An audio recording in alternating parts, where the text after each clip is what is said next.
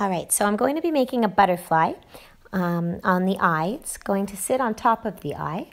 And um, I'm using a split cake with white, um, light blue, and a lavender color. And I'm making a wing shape. The top part has three little sections. And um, I'm going to be making sure that the sections are divided. Here I'm wiping underneath the eye. A little bit of paint got under the eye. So I'm going to divide up those three sections with um, an angle brush. It also has um, a one stroke on it with a dark blue on the end.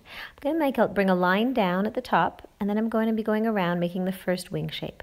Now what I do is I divide that first wing shape into a couple sections with a round curve on the inside. and then I divide, I do up the second section of the wing, and I divide that also into a few different curved lines. One, two, and three, and there I did four. So I have the outside outer edge of the um, outline, and then on the inner edge, I divide it up with curved lines going in towards the center of the eye. Here's the third one, and again, I divide it up a couple times. So there we have the wing shape. I add a little body of the butterfly and some antenna.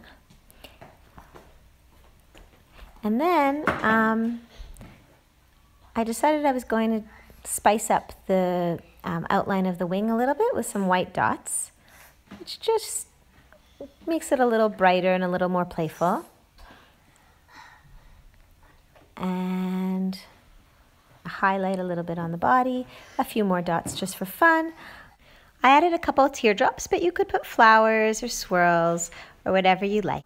I hope you enjoyed this tutorial. Please like and share this video and you can check me out on Facebook. Bye-bye.